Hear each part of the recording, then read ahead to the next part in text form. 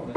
Όταν Τα ήταν έδειξε στα τώρα. Φάρσαλα, σε 12 ώρες θα πήγαινε στον Παναμά, θα ξέρατε, τους λέγαμε, ξέρετε, φύγετε, πάτε στα σα και αδειάστε. Και πάτε 10 στον υπουργό, θα φυλάνε. Σε κάθε σημείο που έχουμε μετρητή έχουμε και τον καρδιογράφο. Πώς Ναι. κινείται η Πώς στάθμη του κινείται η νερού. στάθμη, ναι. Ε, Γιάννη, δείξε μας λίγο που πετάει το αεροπλάνο. Ναι, α- από εκεί πάνω έχουμε μετρητές ατμοσφαιρικής ρήπανσης στις πρωτεύουσε των ημών προ το παρόν. Ε, Ναι, όχι, λέω που έχει πιο πολλές. Ναι, στο σημείο που είναι ο μετρητής όμως. Ναι. Όχι, όχι σε όλο το. Ε, Όπως και η μετρολογική σταθμή. Ό,τι στοιχείο δείχνει τώρα, ας πούμε, ότι στην Ερασόνα έχει 25,7 βαθμούς, στο σημείο που είναι ο μετρολογικός σταθμός. Λοιπόν, τώρα ας πούμε βλέπουμε σε πραγματικό χρόνο πετάνε αεροπλάνα διθέσια κάθε μέρα. Τα οποία έχει μισθώσει εσείς.